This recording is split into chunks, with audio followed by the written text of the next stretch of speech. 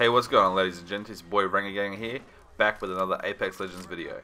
Today's video is tips for playing solo, off when your team dies, or when they straight up just leave the game. Number 1. Pick up a gun. Any gun will do. Any gun is better than no gun. I got the G7, so I want to create some distance and try to split them up. And I also got the Prowler. This, good close up, not the best gun in the game, unless you have a select fire, but it did come in handy in this situation. Now I know there's still two guys left in this squad, so I just want to keep my distance, sit back, and play it out.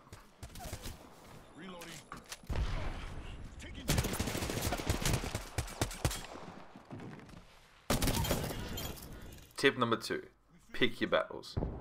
Now you're not Rambo. You need to decide if it's worth fighting a team or not. You can't kill all the teams. Your best bet is to wait until the team is fighting somebody else and their attention isn't on you, or if they're weak and healing up. But if that doesn't work, tip number three, have an escape plan. If things aren't going to plan, you're going to need an escape route. Be aware of your surroundings and your general map awareness. So I'm not too sure how many people are in this bunker at the moment. So what I'm going to do is get up on these crates and wait it out to see how many come out. And when I realise that I'm outnumbered and don't have enough ammo, I throw down my ult to hopefully the enemy's in a bit of disarray and just run. Now to discourage the players from chasing you, I was lucky enough to knock one of their players. So now that he's down, they have to think about picking up them.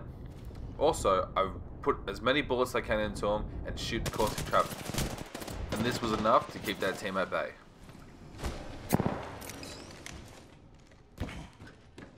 Tip number four. You don't have to be aggressive. You are alone. No one has your back, no one can revive you. So what you want to do is sit back, relax, be a bit of a vulture, scavenge leftover loot, and just pick people off when you can.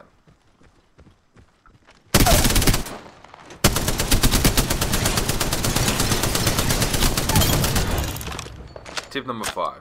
Get into the ring. There's nothing worse, solo, running to the ring, the storm's killing you, and when you get to the other side, the whole squad's there waiting for you. You want to be that guy. You want to be in the circle, ready for the other team to come in. And like tip number two, you can pick your battles. You can choose if you want to engage them, if you want to pick them off, or you just want to leave them and let them go. And now for the last tip, relax. Don't get worked up. Take deep breaths, stay calm.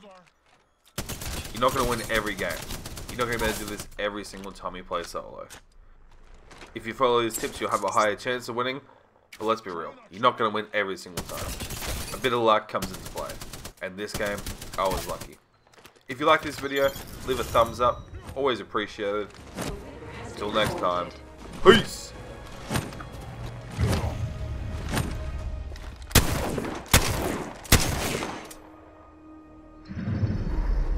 You are the Apex Champions.